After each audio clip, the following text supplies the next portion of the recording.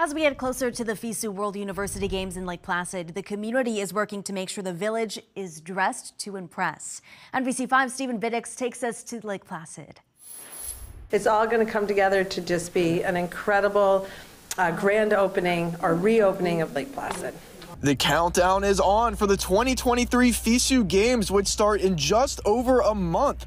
Host Village Lake Placid wrapping up its downtown renovations in preparation for the games. We have beautiful new sidewalks. They're much uh, wider. They're more walkable. There's benches. Um, our crosswalks are safer and larger and uh, easier to see. The village beginning the renovation project in April of 2021 and are finishing just in time for the games. During the World University Games, there's going to be a huge festivity every night on Main Street with live music and activations and award ceremonies. Main Street isn't the only area receiving some love before the games. The Olympic Regional Development Authority is working hard to make sure its venues are up to date and ready to go. One of those is the home of the Miracle on Ice.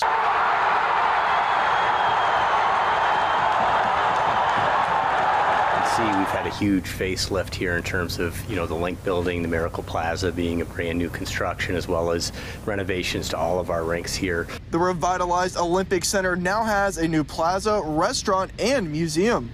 We're opening up our museum December 7th, which is really exciting for us, Lake Placid Olympic Museum, as well as our retail store, as well as Romer's Cafes. The clock is ticking to opening ceremonies on January 12th, and people all over Lake Placid are ready to welcome back the games for the first time since 1972. In Lake Placid, Stephen Biddix, NBC5 News.